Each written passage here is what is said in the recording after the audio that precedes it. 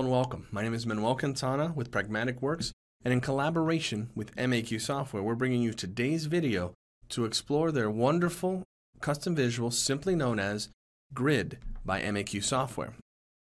Now, this visual will allow us to showcase data in grid format and take advantage of essential features like pagination and default sorting. But also, it gives us the capability to make a GET API call on any additional column in case further processing is needed, which is quite awesome. And you always love it when there's that little bit of extra functionality. Well, let's head over to Power BI so we can explore this custom visual from MAQ software known as Grid.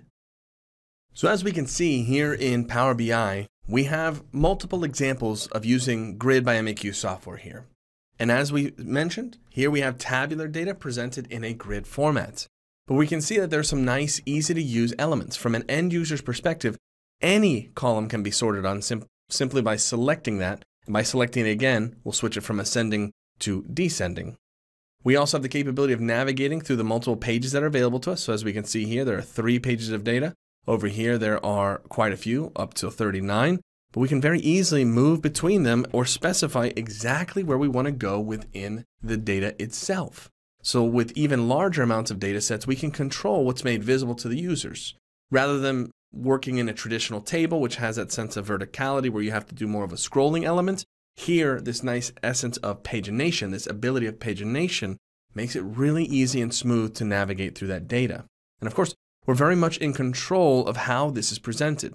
In the value section, which is the only one we have for mapping fields, of course, this is going to present the order of the columns we have presented in our grid.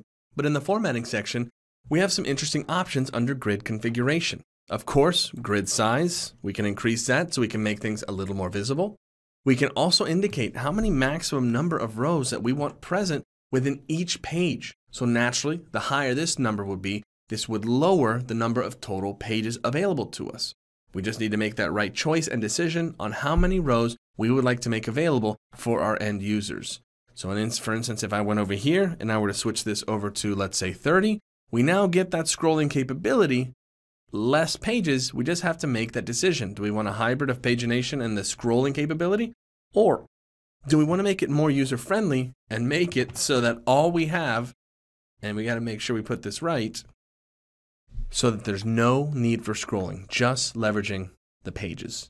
Now also, as we've seen, users can control how this can be sorted but we can dictate default sorting and sort order in this respective section here.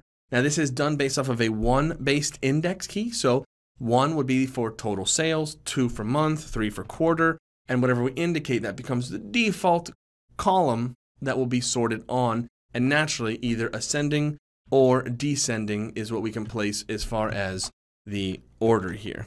So let's actually put that in there and we have descending. This is simply setting defaults. As we've seen, our users have the capability of specifying exactly how they would like this to be ordered.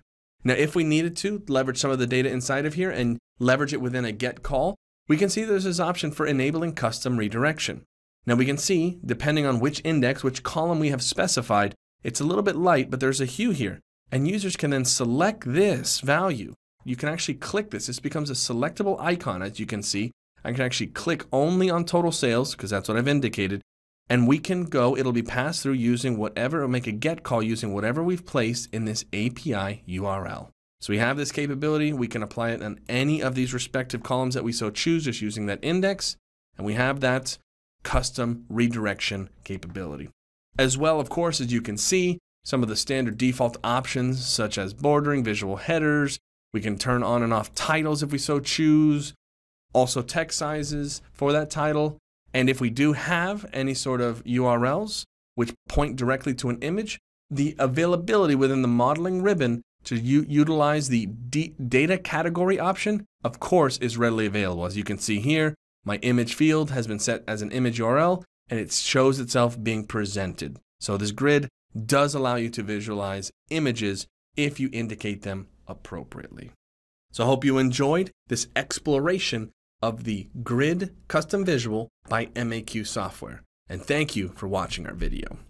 If you have any questions about this visual or need a similar business solution, feel free to contact MAQ Software at sales at maqsoftware.com.